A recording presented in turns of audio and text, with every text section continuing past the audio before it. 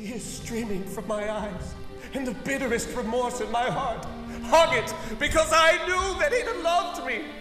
Hung it because I knew that in so doing I was committing a sin, a deadly sin that would so jeopardize my immortal soul as to place it, if such a thing were possible, even beyond the infinite mercy of the most merciful and most terrible God.